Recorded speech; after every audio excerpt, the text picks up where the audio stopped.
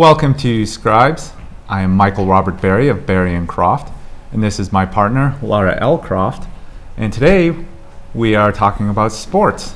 So we are hoping that all of you people who are very traditional book fans will still watch this show because you should. This pertains to a lot of different things and not just sports. It's kind of funny that I work in a library and I go to the gym in the same town, and almost none of the same people go to both places. But anyway, I don't know why true. that is because we both are very athletic and we love to read. Okay, that's not entirely true. He's athletic, I'm not. But anyway, We love to read. we very So- much do. but but this isn't all about us. Uh, tonight's guest is Helen it M.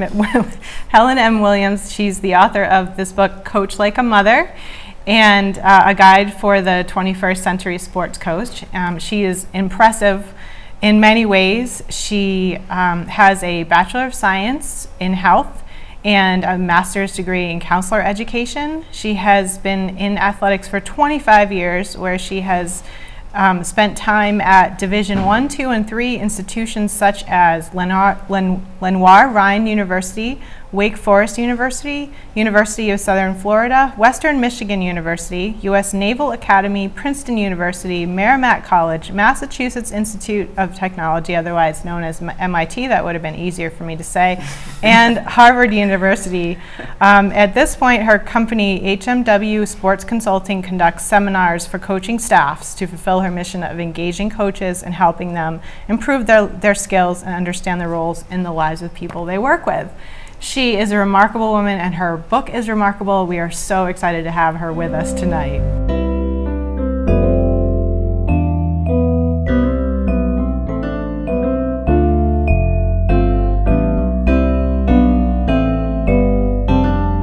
Helen, thank you so much for making the trip to be with us on Scrybes. It's great to have you here. Well, thank you. I'm really excited to be here. So, I'm going to start by asking you about this title. Well, So- um, it's a bit of a double entendre, obviously, but um, took us a while to get that embarrassingly we were Um, like where, Yes. when does the mother part come in Yes. and they're like oh Yes. the mother Um, it actually, you know, mothers are the original coaches. They teach, they motivate, they educate, they discipline. They do a lot of things that sports coaches do. And um, so my editor and I were just sort of kicking things around, and I had another title for it that was way too long and What was not it? as catchy. It was it was whose idea was it to coach anyway? And he said, no, that's not going to work. Um, so we kicked it around, and, and that's finally what we came up with. And it's it's a pretty catchy title. it is catchy it's very memorable It is. very me- Yeah. memorable It is definitely. so um, it's the subtitle is a guide for the 21st century sports coach and i think you have grounded this book very much in the current time um, the thing that sp- sprang out to me um, of everything that was in here but there are a lot of things but the thing that sprang out to me first or, or most is that you work with young people you work with college age kids or you have Right. at this point you're you've moved past that phase Yes, but I'm your bulk of your experience is coaching college students Yes. and there's a generation gap Yes. a lot of people who work with kids, college and younger, get very frustrated with the different difference in attention span and mm-hmm. lack of discipline and the, a sense of entitlement that you did talk about very honestly in here. Yes.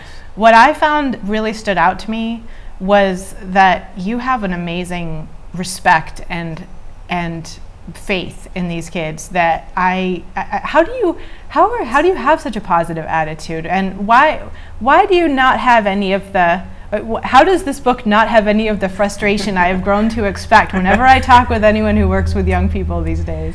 Well, I, I think, you know, we were all 17 to 22 years old. And so I think if you kind of remember that we didn't know what we know now at that age. And I think the kids that are growing up today are so amazing. They're so smart and they're inventing and going to invent all of these wonderful things that, that are going to change the world. And so I just found it a privilege to be able to work with them and try to give them the foundational things that don't change regardless of you know the generation. Hard work respect for others treating people the way that you want to be treated. There's certain things that do not change ever. And i wanted to help them have that that foundation. But i think people get frustrated because we want things done the way we did it. And the old school way sometimes is good, but there's there's nothing wrong with technology. There's nothing wrong with doing things different. It's not better or worse. It just is, and you have to, as I mentioned in the book, I, I envy their ability to do more than one thing and be and to be able to compartmentalize. And, and so I think they have a lot of skills that, that would benefit us if you know if we had them. I just cared about the kids. I think that that's it's such a cliche when people say kids don't know, you know, they don't care about what you know until they know you care. But it's so true. You, you take a kid from their parents and you essentially are uh, responsible for that kid in, in, a sense and helping them continue to grow. And, and you're an extension of their parents. And I just enjoyed working with them. And, and, and I would see things every day that would remind me of how awesome and great they were. And I just wanted to try to teach them that. Now, part of that is you had to do things that they weren't very happy with when you had to discipline them. But that's part of being a coach, that's part of coaching the right way. And it's it's the same problem that parents have. Kids know they need discipline, they just don't like it when mm-hmm. they get it. Right. Yeah. Yeah. Yeah. That was a good That point. is that is something that I noticed about the this book. I mean, you have the the title is Coach Like a Mother, but you could easily take coach out of it and put a lot of things in there. And when I was reading it, one of the things I got out of it the most was my responsibility as a parent to make sure that my kids are prepared when they get to a college level, when they get to somebody like you who could coach them or whatever. And um, it just struck me when you were giving the example in the book about the, the girl who couldn't mail in, in a letter. Yes. You know, you had to take her into the post office and get her yeah. the stamp and show her. And, and to me, that's something that tells me there's a responsibility for me as a father to make sure that my kids are not only safe, but prepared to go out into the world. But I think it falls back to you as a parent. What are you doing? Are you involved? Like you were saying, it's not just about them on the courts, it's about being part of their life and knowing that you have to be the bad guy sometimes. Nobody likes it, but you don't do anybody any favors if, if you don't show them the repercussions. Like the one girl you had doing, I think it was push ups or something, yeah. and running around the courts. Yeah. I'm surprised she could play. Yeah. Um, well, I think first of all, I, one of the things in the book it's, it's applicable to parenting and teaching. Anybody who deals with quote unquote the 21st century kid, um, I think will get a lot of a lot out of this book. But I also think that you know, I'm sure previous generations, their mothers said the same things about them, their fathers said the same things about them, and then their grandfathers said the same thing about their right. So right. I don't, you know, I don't think that that's, you know, that's that's going to change. You just have to try to you know, make adjustments. Mm-hmm. And um, the world changes, and you have to change with it, and you have to be accepting of that change. But again, as I said earlier, there are certain foundational things that don't change, regardless of the generation. Mm-hmm. Right, and, and that's true. That, that is definitely true. But yeah, like I said, I think the title of this book, and I hope people realize that as you read this book, this does pertain to a lot of things, not just coaching. You know, and I mean, even for us, it could be like writing like a mother, publishing like a mother. I could be a father like a mother. Well, I, I, I, you are. I wanted to just share things that I learned. It just happens to be through the prism yeah. of sports because that's that's what I do. Yeah. Yep. Yeah. Um, when we choose books, I, um, people often ask what are our criteria when we choose books? But and the topic is extremely broad so we don't limit ourselves to any specific topic. But sure. what we do really look for are good quality writing someone who really has something to say someone who can articulate it on camera. You know we, we have a lot of things in our head that we look for um, and it's it's funny that i did not expect this book to relate to me. Um, like i joked about in the introduction i am a very unathletic person. I've started going to the gym recently but me in sports, no, no, no, no, no, no. And I was telling Mike, and like it brought back childhood memories. I was always picked last for every team, and to this day, I actually, I've, I have actually been able to get over the this the feeling of stigma of being picked last. But here's what I haven't gotten over, and this just cracks me up. I still feel bad for the teams that got me. That's how bad I was. the team that was stuck with me at the end, I still feel bad. I was so uncoordinated. I the, the, the strengths that I could bring to reading and, and every other subject failed me completely in phys ed just due to my, my, my brain would just blank on the court of any mm-hmm. kind.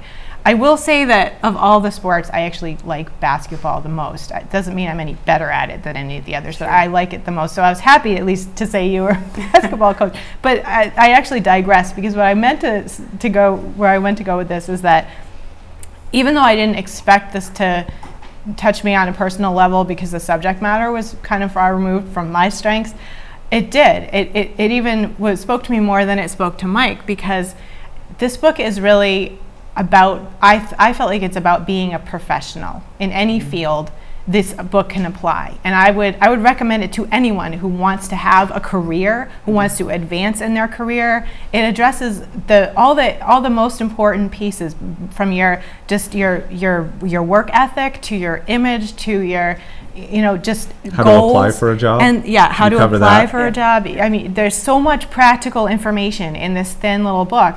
And even right down to, and I loved this, um, you talk about if, if you lose your job. Mm-hmm. Sure.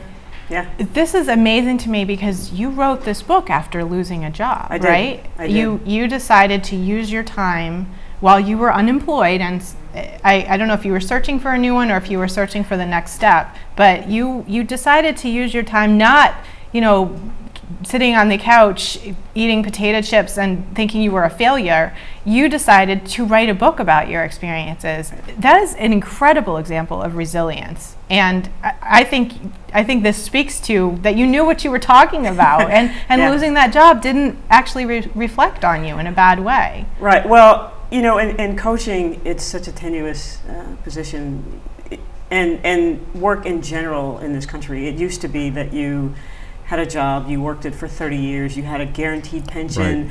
and you could retire, and you would have an okay life for 20 or 30 years or, or whatever. And now people are getting laid off or fired or for whatever reason, you may be in the same career for 30 years, but it's very unlikely that you will have the same job for 30 years. And people have Right.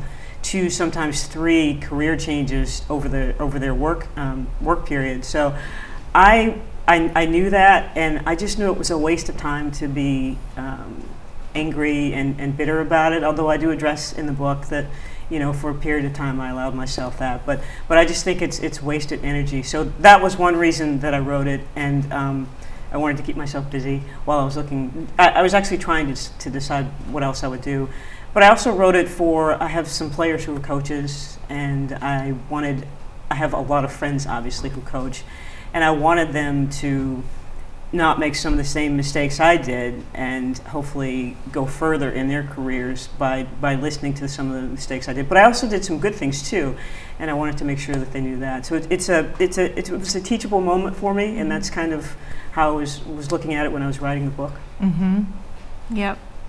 So why did you pick basketball though? Why did that become your sport, or how did that Um, become your sport? It's fast paced. It's one of the few sports where you can experience the gamut of emotions within a course of two hours. You can be really excited, you know, in one second, and the next second be dejected, and you have to deal with adversity, and you have to learn how to win, you have to learn how to lose, you have to learn about teamwork, you have to learn about doing your part, and it just encompasses so many areas of life. And I, I picked it at the time just because I love it, but now I understand that was all that was all part of it. And um, it, it's my favorite sport. It's on all the time, uh, with the exception of May to, to September. So anywhere from, from October to, to the end of April, I'm all excited because there's a basketball game on some level every night. So yeah.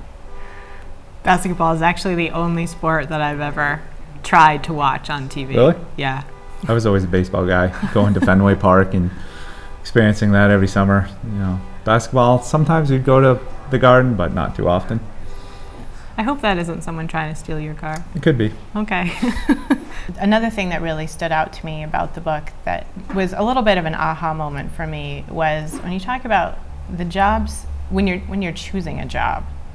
Okay, I'm backtracking. I, I started with you know what happens when you lose one. Now I'm going to go back to what happens when you're choosing one. But one thing that you pointed out uh, was noticing who's already on staff and is it is Yeah. it a diverse staff?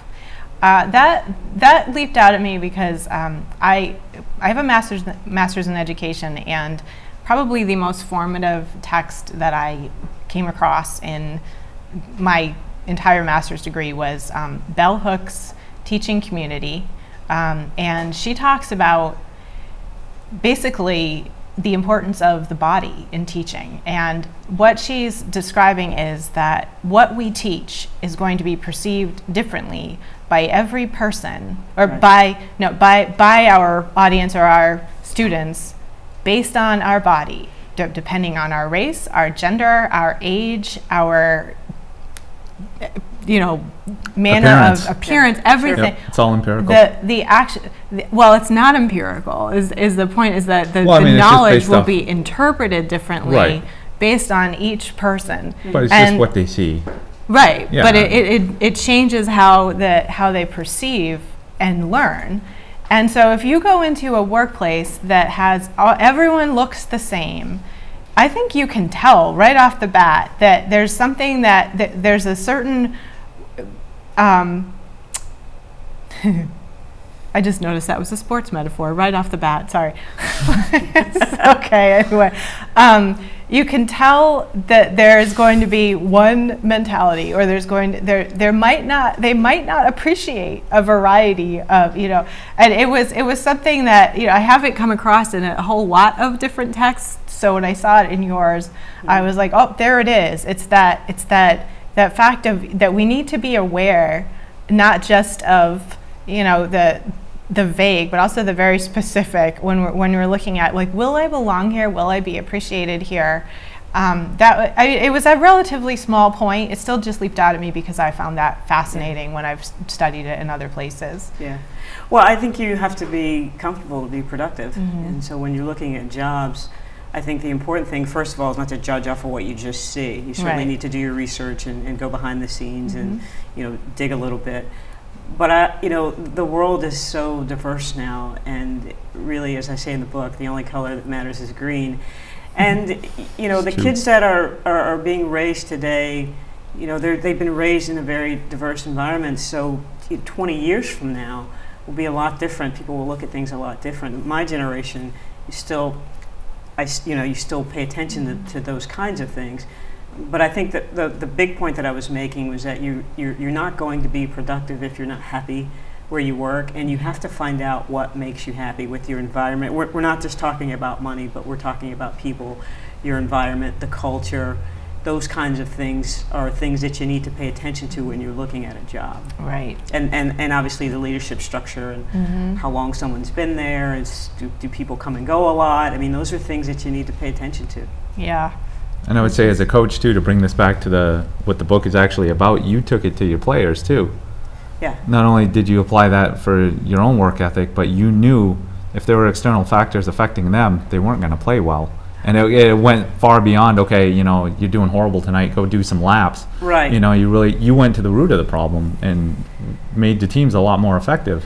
Well, I think sometimes we, when you coach, you have such pressure on you to, to do well, and, and it's people always talk about wins and losses, which are not unimportant. It, it is important. But it's getting it's there. It's always important to keep score. But sometimes we, you have to listen for what kids don't say, and you have to have opportunities where you're not just talking about basketball, where you you show them that you Mhm. care, whether it's a, a, a disciplining moment or you're just sitting there shooting the breeze about whatever, Mhm. and they come in your office and start talking about the new shoes they bought, and you have no idea why they paid a hundred bucks for a pair of shoes that they could have gotten for sixty. I mean, Right. you know, those little moments help you, those informal moments with your kids sort of help you get to know them. And usually it is something off the court when they don't, don't play well. And that's something you have to just sort of develop an ear for.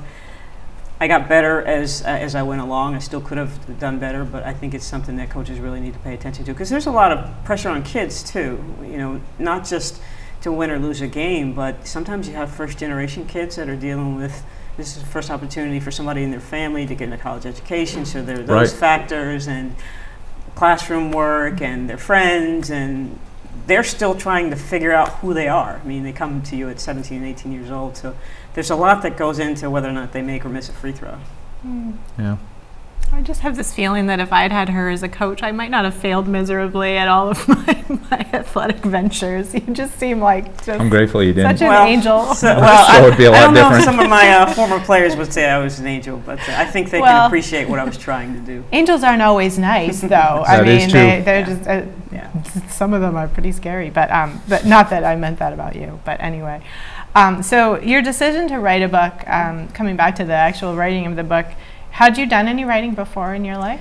Well, I um, writing has always been uh, cathartic for me, uh, and therapy for me. I mentioned in the book that I, I lost my adopted parents, so one of the ways of dealing with that was putting things down on paper, and I just kept doing it, and and so I just decided that whenever I have thoughts in my head, I have to get them down on paper, and this particular book actually has been in my head for about 10 years. And I just never had time to write it because you always say in the off season as a coach the season ends somewhere around March, and you go, okay, April, May, June, July, June, April, May, and June. I'm gonna, I'm gonna get this done before recruiting starts in July. But you're always doing other things, and so uh, it actually, as weird as it sounds, it was a blessing to have that time, even though I lost my job, to, to be able to put that down on paper. Mhm. And it, if I don't put it on paper, I don't sleep, and it just, it's, it stays in my head. So. Mm, I've, I've been there a few times. Yeah. Um, did you? What, what role did books play in your childhood? Did you read a lot, or? I love to read. Uh-huh. Yeah, I just, um, you know, when I got to, to high school, I started reading more, but it just, it, it takes you to places that you've never been before without actually leaving. And I think Yeah. that's, Mhm. sometimes that's the first way that you get to places until you can Mhm. actually physically get there. And it's always interesting to read about different places and, and different people. And I love autobiographies. I love reading about people who've done Mhm. really well to see what Mhm. they've gone through to get to, to be as, as successful as they are. So Mhm. I, I read a lot of autobiographies. Hmm. It So what- like you.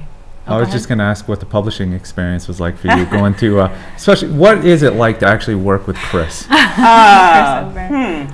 Uh, well, first of all, you know, if you're a new author, people don't pay attention to you per se, and that's just it. It is. You have to be some, you know, somebody like J.K. Rowling. Just she just struck gold, and very fortunate for her. But I wanted to.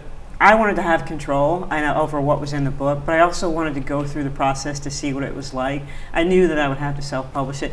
Chris was great. Um, I, I, he actually is a friend of uh, the math teacher of one of my players, and that's how I found out about him. Oh. Nice. And I just sent him the book. He did not have a sports book uh, with his company, and I asked him to read it and see what he thought about it. He loved it.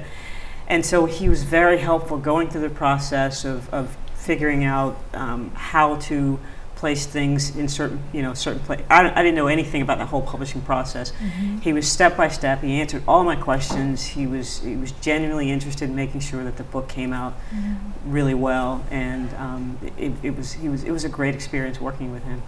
Was the formatting choice to do the little bullet points his or yours, or did you always? that was actually that? the um, the you mean the post-it note Um, thingies? the- Yes. yeah, Uh, they're- that was actually my editor's right. idea. He Okay. he wanted to, um, and, and I do recommend that you pay to have somebody edit your Oh, Oh, book. we yes, always absolutely. do that. Yeah. Uh, he wanted to, he was like you, he found certain points that stuck out to him, and he said, you know, you need to pick something from each chapter, some point that you're really trying to emphasize, and find some way to, to, to highlight it. And I simply just went on Microsoft and I thought, oh, this looks cool.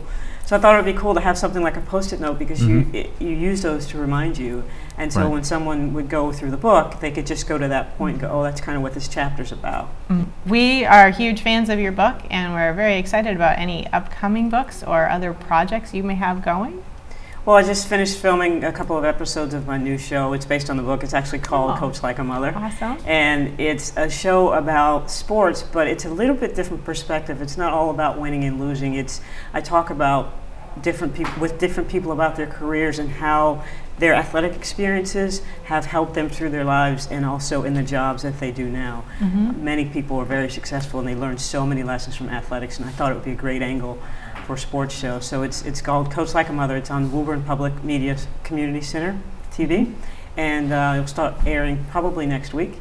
Is that going to be an internet thing too? Yes, Like I'm actually going to put it on. I have uh, obviously YouTube. I, I have Okay. YouTube, so I will put it on YouTube, and or they can go to my website, Okay. um, hmwsportsconsulting.com, and it'll be Mhm. on there. So there's a lot of really good life lessons in there, and as ag- again Absolutely. I said, it's it's told through the prism of sports, but there's a mm-hmm. lot of good lessons in there. We would like to thank Helen Williams for coming on Scrybes and talking to us about her book, Coach Like a Mother. And as we said throughout the interview, this is a book that can be applied to a lot of different aspects in life. If you are a writer, if you want to self publish, if you're looking for any kind of a job, whatever it is that you want to do, this book does apply to a lot of different angles. And even I said parenting. You know, it, it is a wake up call for how you could potentially be sending your children out into the world. Yes, we're very lucky to have Helen join us tonight, and thank you very much for watching Scrybes.